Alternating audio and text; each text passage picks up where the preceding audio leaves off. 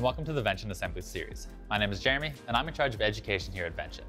In this video, we'll be taking a look at our roller conveyor, from the basic setup and assembly to compatible hardware. Similar to any of our modular actuators, our conveyors can be customized in terms of length, and as such, will require some assembly on site. With that, let's take a look at the basic hardware.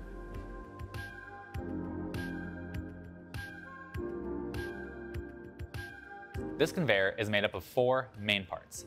You have the mounting brackets, the grooved rollers, the O-rings, and the motor mount. The first thing that you'll need before starting the assembly of the conveyor hardware is the frame that it will rest on. When designing the frame, make sure that the internal dimensions between the two supports is 585 millimeters. Once you have your frame set up, you can then start with the assembly itself.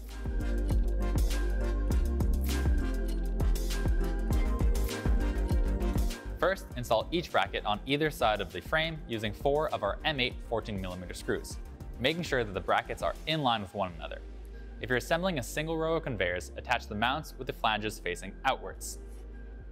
If you're assembling more than one row, attach each of the inner brackets with the flanges facing upwards. In our case, since we're only assembling a single row, I'll be assembling it in the first orientation.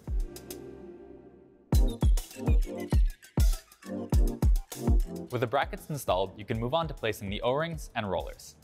Each roller has a fixed shaft end and a spring-loaded shaft end for easy installation. Start by placing the required O-rings onto the rollers before attaching them to the bracket. If the O-ring is connecting two rollers, use the smaller 257mm ring, and if it's connecting a roller to a motor mount, use the larger 306mm ring. You can then insert the fixed end with the rings in place into one of the brackets and depressing the spring-loaded end, slot it into the opposite bracket. When inserting the next roller, make sure to slot it through the previous O-ring, then position it in the appropriate groove.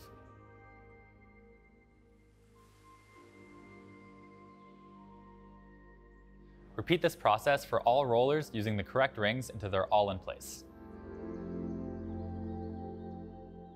With all the rollers in place, you can then install the motor mount to the supporting member beneath the conveyor. Do this using the two 80mm M8 fasteners.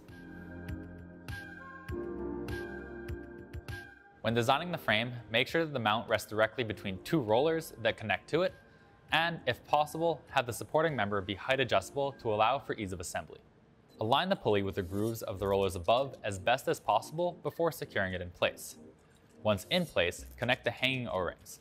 As a tip, you can use a T-handle as a lever to get the O-ring in place by first resting it in the desired channel of the motor mount and hooking the ring from underneath. Repeat this for each driven segment of your conveyor until you have it fully assembled. The final step would then be to install your motors to the motor mounts themselves. One thing to note is that each motor can drive a total of 14 rollers, 7 on either side. Now, we'll move on to compatible hardware.